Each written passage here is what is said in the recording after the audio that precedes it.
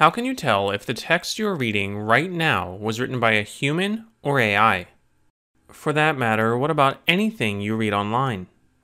Even the script of this YouTube video could have been written by artificial intelligence. Just how good are people at identifying AI generated text?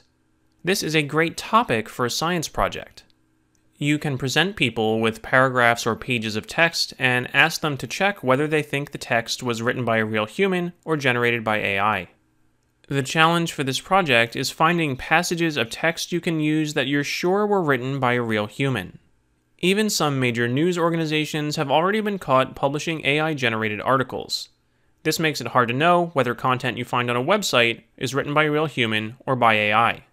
One way around this is to look at archived versions of web pages or use a date filter when searching for news to find articles and pages that were written before generative AI tools like ChatGPT exploded in popularity in the early 2020s.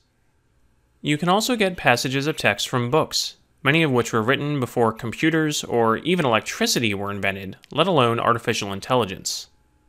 However, you have to be careful about using popular books because the test subjects in your experiment might be more likely to recognize text from books they've read.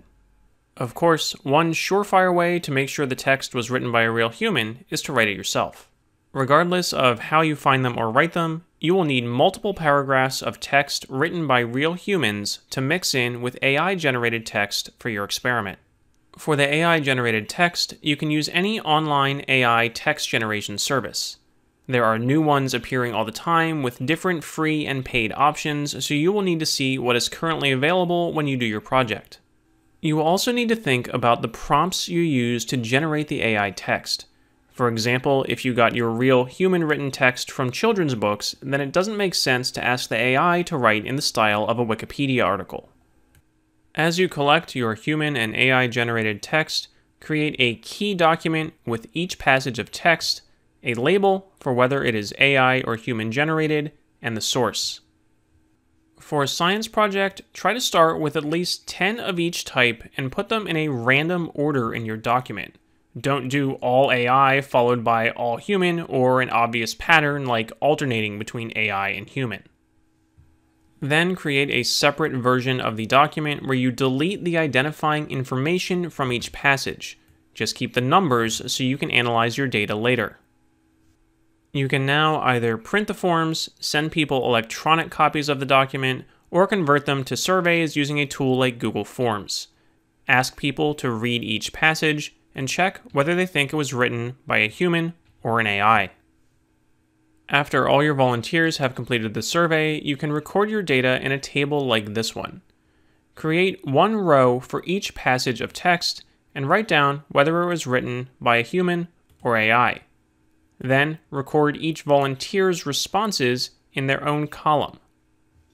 For each passage, you can calculate the percentage of volunteers who answered correctly. You can also calculate the total percentage correct for each volunteer. This lets you see if some passages of text were harder to identify than others, and if some volunteers were better than others at identifying human and AI written text. You can also calculate the total percentage of correct responses for all passages and all volunteers.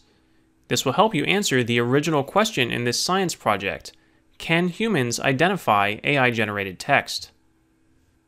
For written instructions for this project, check out the link in the video description.